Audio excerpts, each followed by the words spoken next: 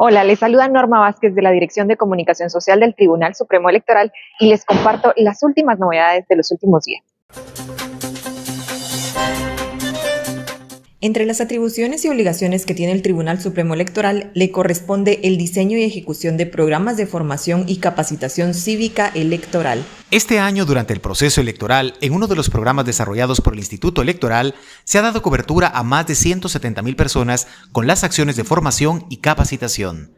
De esa cifra, se destaca que 106 mil son mujeres, las que participaron en cursos y talleres en las que se trataron temáticas como el marco regulatorio de las elecciones y la protección del voto, así como el rol de las juntas receptoras de votos. Estos programas se impartieron en modalidad presencial y se dio cobertura a los integrantes de las juntas receptoras de votos.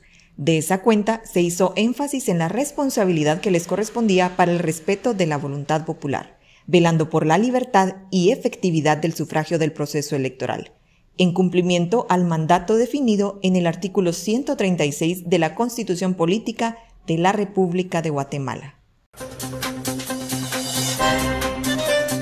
En las últimas reuniones sostenidas entre el Pleno de Magistrados del Tribunal Supremo Electoral y los fiscales nacionales de los partidos políticos, se les informó sobre el periodo para el retiro de la propaganda política.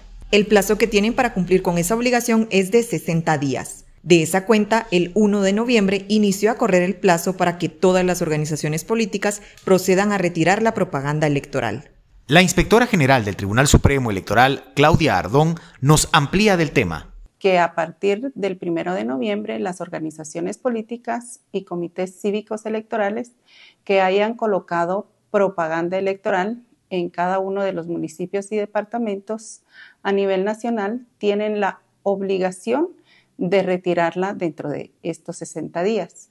Sin embargo, la inspección general también eh, realizará recordatorios a cada una de las organizaciones políticas para el retiro de la misma. Sin embargo, una vez concluido el plazo establecido por la ley, pues ya se solicitará a quien corresponda el retiro de la misma por lo que instamos a cada una de las organizaciones políticas para que dentro del plazo establecido en la ley electoral y de partidos políticos proceda al retiro de la propaganda.